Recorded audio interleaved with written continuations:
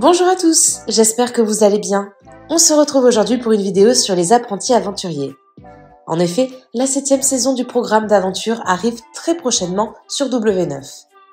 Hier, la chaîne a officiellement dévoilé le casting complet de cette année. Comme vous allez le voir, dans cette saison, on retrouve beaucoup de binômes d'ex. Regardez.